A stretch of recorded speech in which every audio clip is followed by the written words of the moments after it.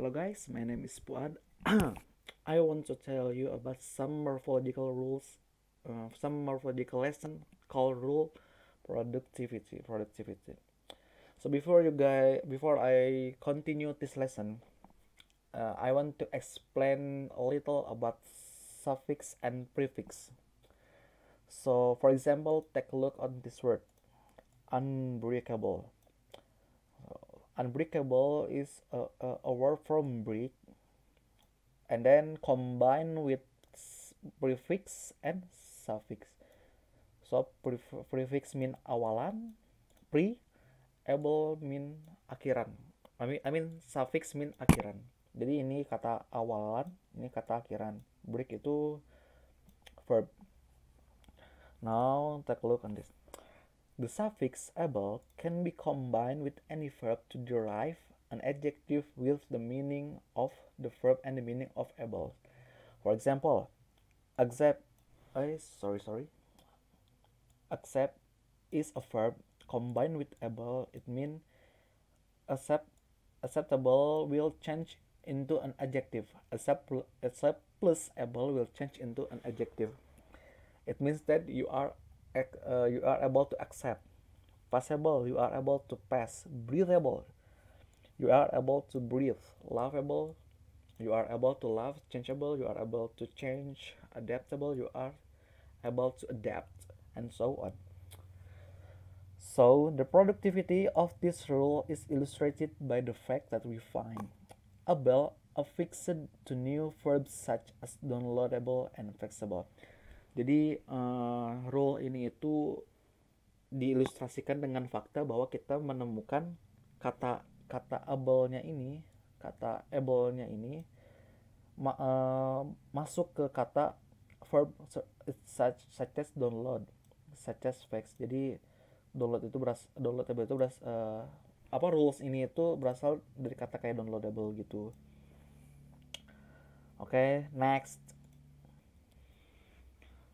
prefix the prefix "un" derives some class words with an opposite meaning such as unafraid unfit un-american so this afraid it means that you are scared to something you are scared to someone. But if this afraid this uh, this words combined with "un" it means that this word will change the meaning into an opposite into an opposite. For example unafraid it means that you are not afraid.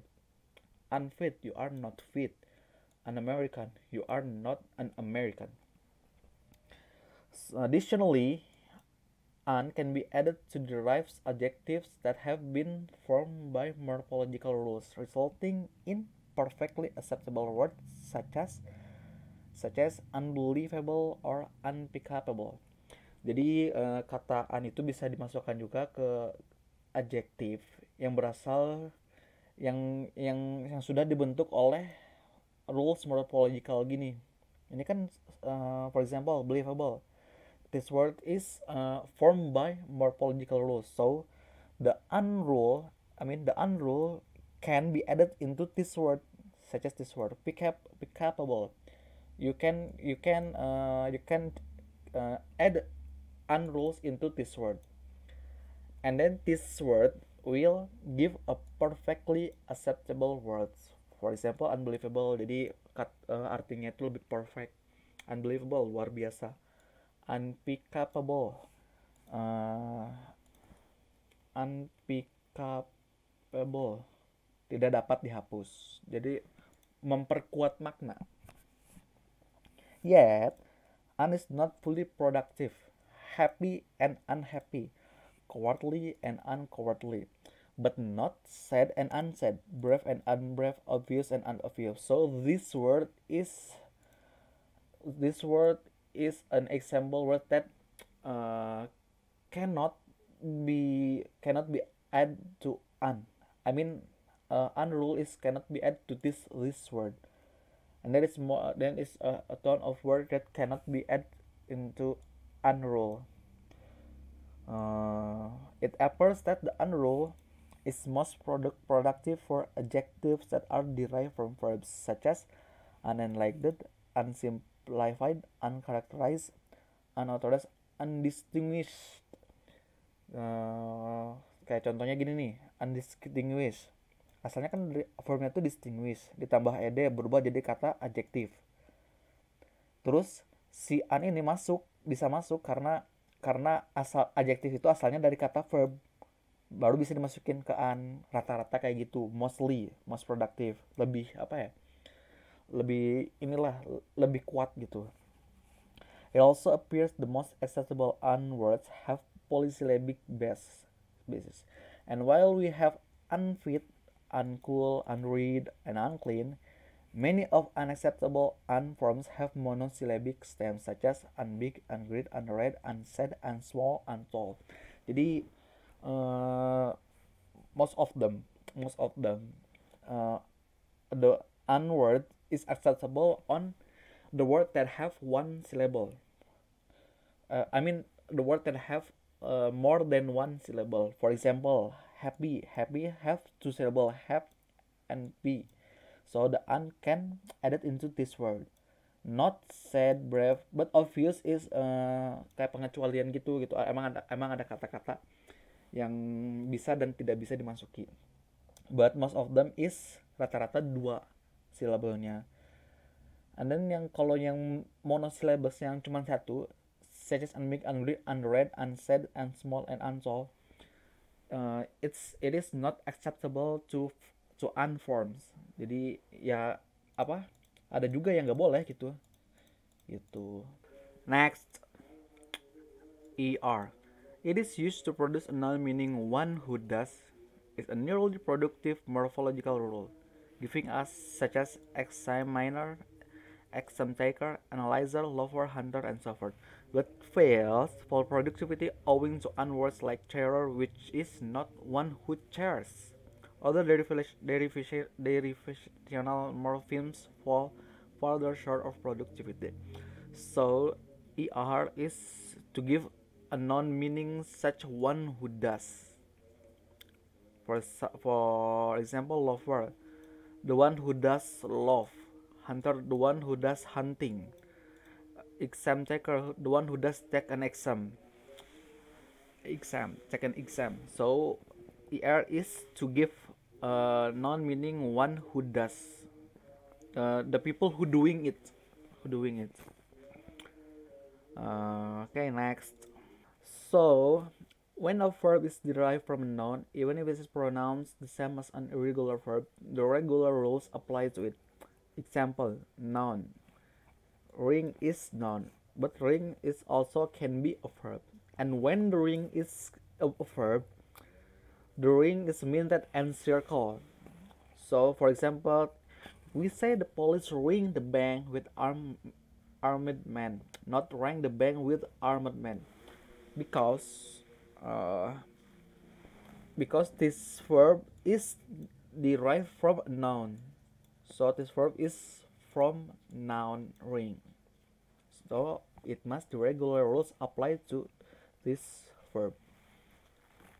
Next, so making compound plural.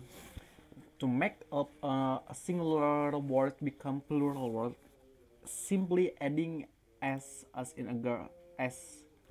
For example, girlfriends, boyfriends, laptops, and etc. But a compound there is also a compound takes an irregular form. Example, footman. I am sorry, sorry. Footman is footman, not footman's or I mean footman's or fitman or fitmin. Fitman. I'm sorry. I'm sorry. Okay. Next. Lexical gaps. lexical gaps or accidental gaps are wall from but non-existent words. The actual words in a language constitute only a subset of the possible words. Speakers of a language may know tens of thousands of words. Dictionaries, as we note, include hundreds of thousands of words, all of which are known by some speakers of the language. But no dictionary can list all possible words because it is possible to add the to, to add to the vocabulary of a language in many ways. Because it is possible to add to the vocabulary of a language in many ways. This is the, the key. So lexical gap is just like in Indonesian. Uh, santuy santuy asalnya dari kata santai. Jadi kayak kata-kata yang di di diselengkan karena sed, adanya sedikit uh, gaps itu perbedaan yang sedikit itu makanya diselengkan gitu. Next. Other morphological processes a new word may enter the language because of an incorrect morphological analysis. For example pedal was derived from peddler on the mistaken assumption that the er was the agentive suffix. So jadi awalnya tuh pedal itu nggak ada. Cuman sebenarnya pedal itu ir-nya itu bukan suffix bukan kata akhiran. Ini satu satu kata ini gak ada kata akhirannya ini tuh benar-benar murni kata.